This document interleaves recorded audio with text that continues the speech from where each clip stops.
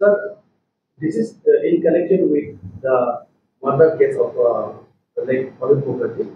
And especially in this connection, we have heard that uh, you have already arrested 21 uh, people.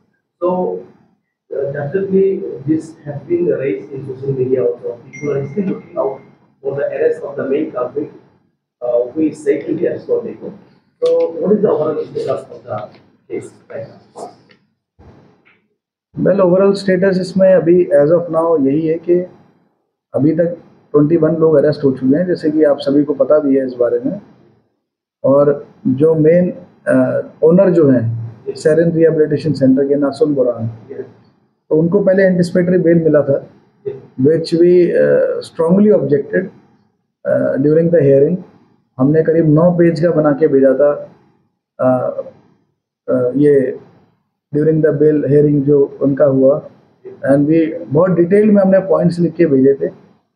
And our I also strongly objected and thankfully कि उसका bail reject हुआ। And our team is continuously searching for him right now is uh, I have got a message के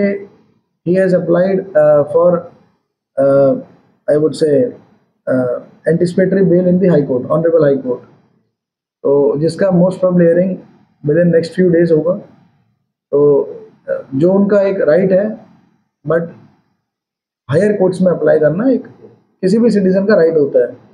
क्योंकि यहाँ district court में reject हो गया है।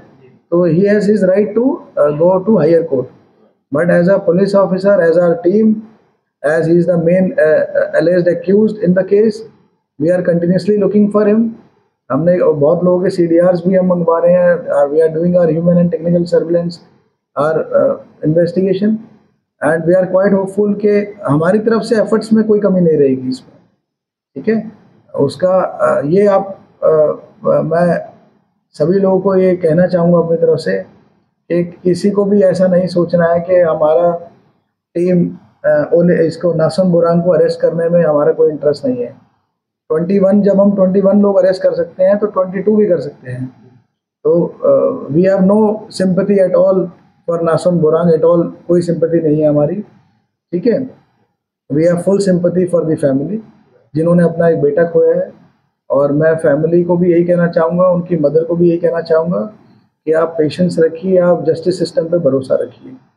अगर कोई इस समय एब्सकॉन्डिंग है, कोई फरार है, इसका मतलब ये नहीं है कि आप वो जीत गए और आप हार गए हैं, ऐसा नहीं तो जो हमारी इन्वेस्टिगेशन है it will be done in a very fair manner on merit basis in a transparent manner आप उसकी चिंता बिल्कुल मत करिए।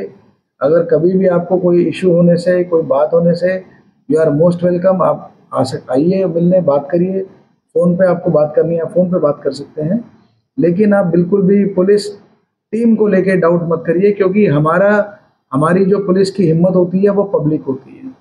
आपका भरोसा होता है। तो आप इतना भरोसा रखिए कि मुझे नहीं याद है कि आज तक कभी किस लोग किसी एक केस में अरेस्ट हुए हैं? I don't remember this any case मुझे कोई केस याद ही नहीं आ रहा है कि यहाँ पर मैं भी, मुझे भी दो साल से ज़्यादा हो गया अरुणाचल में but I don't remember any case जिसमें इक्कीस लोग अरेस्ट हुए हैं। तो आप आप इसी से अंदाज़ा लगा लीजिए कि हमारी टीम कोई इसमें कसर नहीं छोड़ रही है, ना छोड़ेगी। जो भी कल्प्रिट है उसको लॉ के हिसाब से जो सज़ा मिलनी चाहिए, वो उसको सज़ा मिलेगी और हम सही के साथ खड़े हुए हैं। हम कभी भी गलत आदमी के साथ नहीं खड़े होंगे। तो इसकी में भी हमारी एफर्ट्स जारी हैं इसको पकड़ने के लिए। मैं इतना ही कहूँगा थोड़ा सा आप लोग पेशेंस रखिए। यही हो सकता है कि जब उसका anticipatory bail hearing high court में होगा जैसे हमने यहाँ पर ऑब्जेक्शन दिया है पूरी अपनी ईमानदारी से पूरे अपनी आ, क्या बोलते हैं अच्छे इंटेंशन से हम वहाँ भी ऑब्जेक्ट करेंगे।